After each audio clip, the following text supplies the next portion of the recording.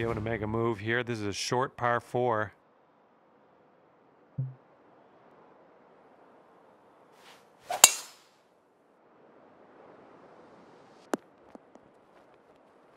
Alrighty, second shot on the 16th.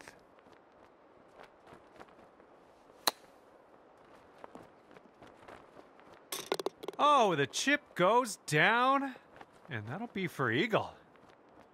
And yeah, I think we're gonna have to have another look at that one.